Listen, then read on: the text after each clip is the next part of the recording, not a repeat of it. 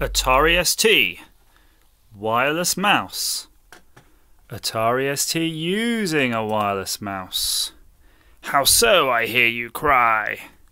Using the power of a Raspberry Pi, or Pi Zero, if you so wish. Come check it out on the back office sign up to my Atari ST playlist and see how I've done it.